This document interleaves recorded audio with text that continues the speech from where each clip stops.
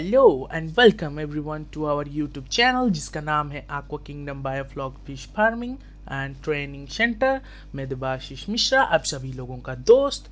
देरी न करते हुए चलिए वीडियो की ओर पढ़ते हैं।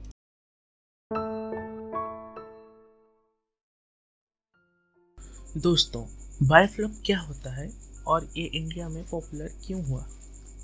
बायोफ्लॉक एक वैज्ञानिक और आधुनिक मछली पालन का तकनीक है, जिसके माध्यम से हम लोग कम से कम एरिया में पैसों का बचत करते हुए ज़्यादा तादाद में मछली के उत्पादन कर सकते हैं। बायोफ्लॉक का अगर अच्छे से पूरे इन्फॉर्मेशन के साथ और सही प्रोसीजर से करा जाए तो बहुत ही ज़्यादा प्रॉफिटेबल बिज़नेस माना जाता है। और इसी कारण से आज ज़्यादा से ज़्यादा लोग इसमें अपना टाइम और पैसा इन्वेस्ट करना चाहते हैं। दोस्तों इंडिया में पॉन्ड कल्चर बायोफ्लॉक से थोड़ा अलग है, जो हमारा ट्रेडिशनल या कन्वेंशनल मेथड होता है। बायोफ्लॉक में स्टॉकिंग डेंसिटी का मतलब कितने तादाद में मछली हम स्टॉक कर सकते हैं एक पर्टिकुलर एरिया में। तो स्टॉकिंग डेंसिटी बायोफ्लॉक में करीब करीब दुगना होता है in comparison to pond culture और इसी के कारण पॉन्ड का प्रोडक्शन पर हेक्टेयर जहाँ पे 10 से 15 टन होता है, वहीं पे बायोफ्लॉक 20 टू 30 टोन्स का प्रोडक्शन किया जा सकता है। बायोफ्लॉक में जो तकनीक यूज़ होता है, वो सीखना बहुत ही सरल और लाभदायक होता है। पीएच और नाइट्रोजन दो बहुत ही इम्पोर्टेंट फैक्टर है, जिसको पॉन्ड में मेंटेन करने के लिए 25 से 30 दिनों में पानी को फ्लश करना पड़ता है। वहीं पे बायोफ्लॉक में जो बैक्टीरियाज होते हैं, वो नाइट्रोजन को कन्वर्ट करके प्रोटीन में और नाइट्रोजन और पीएच लेवल की कंसिस्टेंसी मेंटेन करने में हेल्प करते हैं।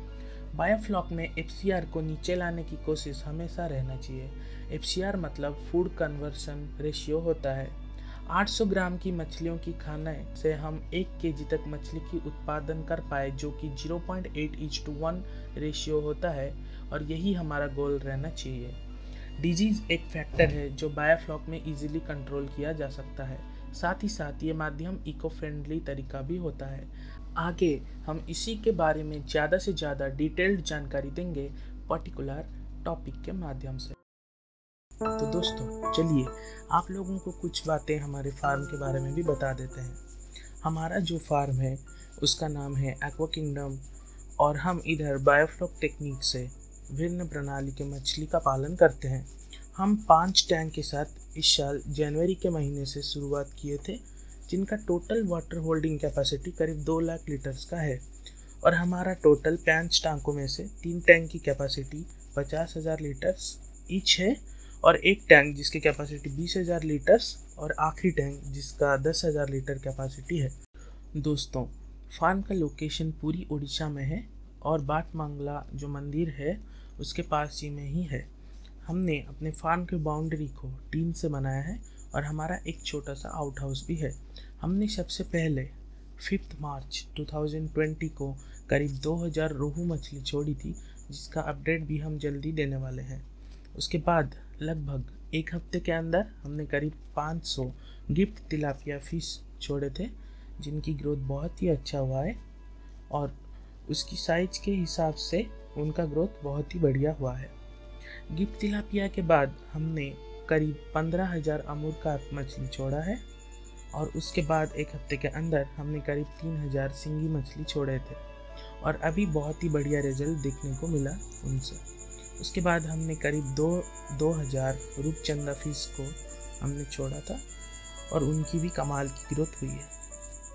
हम आप सभी लोगों को ये चीज़ इसीलिए बता रहे हैं ताकि आप में और हम में ज़्यादा अंतर ना रह पाए और आप सभी लोगों के सामने ट्रांसपेरेंसी मेंटेन होती रहे।